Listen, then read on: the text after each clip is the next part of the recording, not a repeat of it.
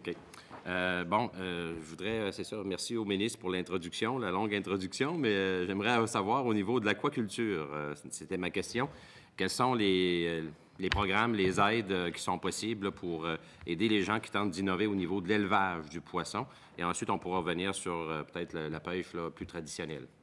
On a des programmes spécifiques, mais on a beaucoup de programmes au ministère de l'Agriculture. Ça s'applique aux pêcheries, ça s'applique également au reste de l'agriculture, que l'on travaille avec Investissement Québec et le ministère du Développement économique.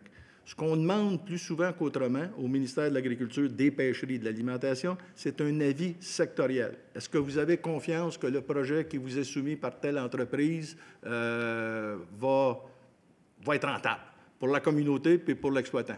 Quand on émet notre avis sectoriel, les programmes d'investissement Québec entrent en ligne de compte.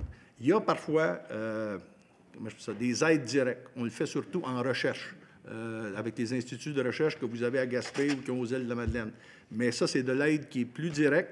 Présentement, cette aide-là, on tente de la conjuguer avec le secteur privé. Traditionnellement, on a aidé les chercheurs dans des proportions qui frôlaient le 100 euh, Présentement, on demande un effort de 10% du secteur privé pour s'assurer que la recherche que l'on fait soit ou réponde à des besoins des entreprises privées comme telles.